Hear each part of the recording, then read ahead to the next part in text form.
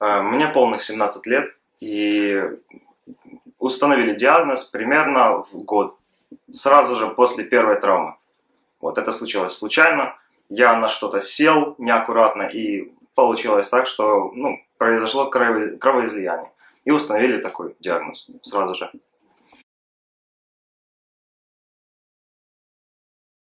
Ну, непосредственно это, ну, это, это все, то есть если что, что-то э, происходит, то все планы, конечно, от, отлаживаются, сразу необходимо решать проблемы со здоровьем, и люб, любые какие-то лишние вопросы, они а, ну, отлаживаются, уходят на второй план. Поэтому не всегда все получается делать так, как хочется.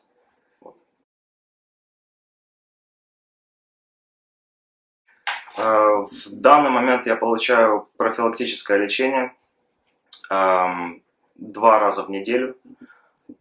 Э, это экспериментальный вид фактора, я не знаю. Вот. Ну да и все.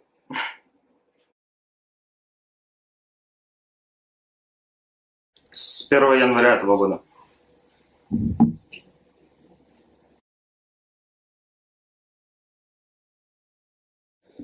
Э, да, уже да, уже да, но он не развит, и он появился не так давно. То есть нет каких-то, ну, я не знаю, таких э, особых отделений, то есть чтобы было целое здание предназначено для этого, с какими-то э, ЛФК процедурами, со всем этим, что необходимо для как, лечения гемофилии.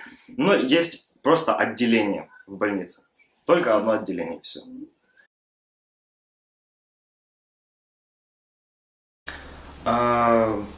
Колено, а, оба локтя и голеностоп левый тоже.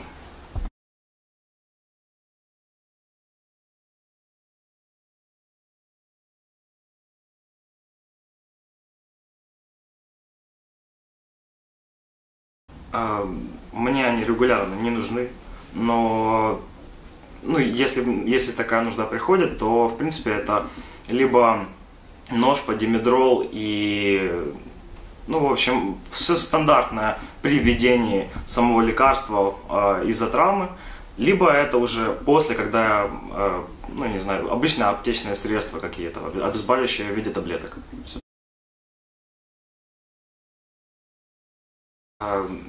Не, вообще нет.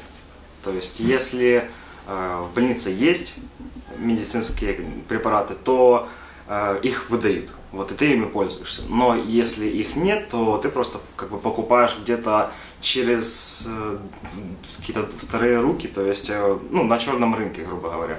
А в месяц это получается приблизительно 4000.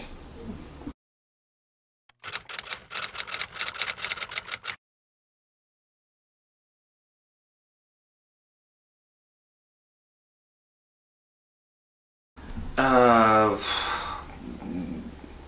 не знаю, наверное, ну, эм, как, как бы сказать, э, я занимаюсь упражнениями. То есть я пытаюсь поддерживать их состояние в норме, состояние мышечной массы. То есть, э, не знаю, просто хрящевая ткань, она же не восстанавливается, поэтому э, меня остается только, как, чтобы механизм работал дальше, чтобы он не застаивался. Поэтому я стараюсь заниматься чаще. Вот, это единственное, что я могу. Если есть, то я о них не знаю. Э, но есть э, отдельные люди, которые непосредственно ввязаны в как бы лечение этой болезни, как бы с, под, с поддержкой здоровья таких людей. Какие-то родственники больных, возможно, Э, ну, такие адвокаты, вот. Но особенных каких-то специ... специализированных конкретно по таким вопросам нет.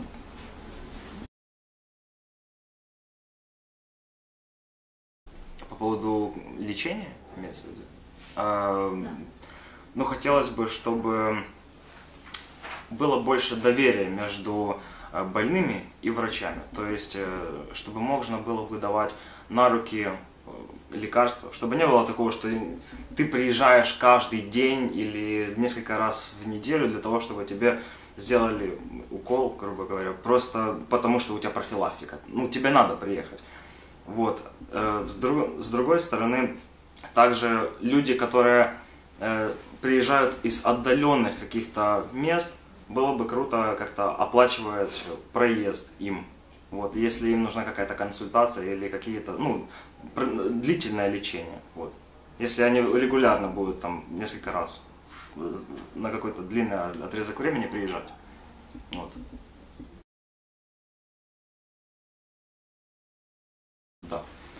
А, нужно понять в первую очередь тот факт, что а, если у тебя гемофилия, то это серьезная болезнь, и ты не такой, как все.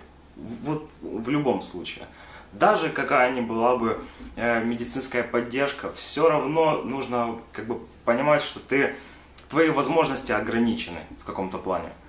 И это не значит, что ты хуже, это значит, что тебе просто, у тебя больше работы. Тебе нужно, э, чтобы достичь того же, что достигают э, обычные здоровые люди, тебе нужно больше вкладывать, больше работать. И в конечном итоге, конечно, это окупится, но я считаю, первый, первым делом нужно оценить свой интеллект и свою, э, свой напор.